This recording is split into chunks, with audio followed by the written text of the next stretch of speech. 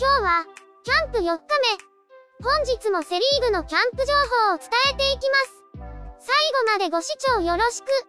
このチャンネル、視聴回数に対して、視聴時間がとんでもないことになっているぞ。本日の一つ目の話題はこちら。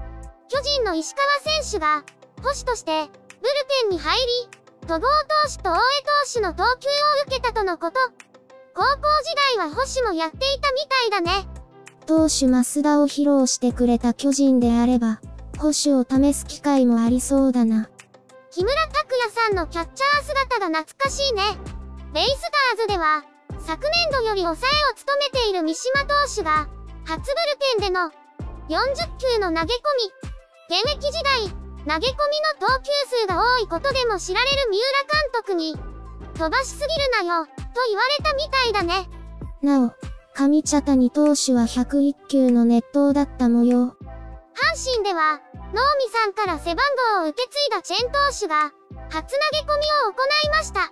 さらに、藤川さんのフォームを参考にしているという、ドラフト8位ルーキー石井投手も、藤川さんの目の前で、80球の投球。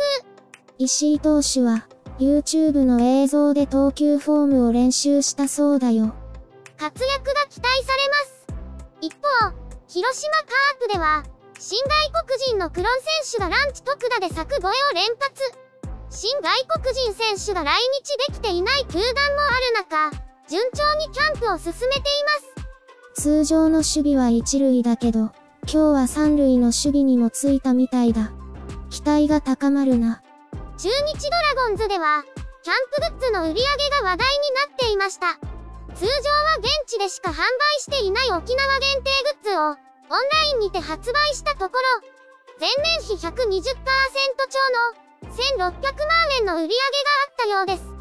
昨年も、元チアドラのリーダーの新井夏里さんがこだわったハイビスカスのユニフォームで売り上げを上げていた中日が2年連続グッズの良い話題が出ました。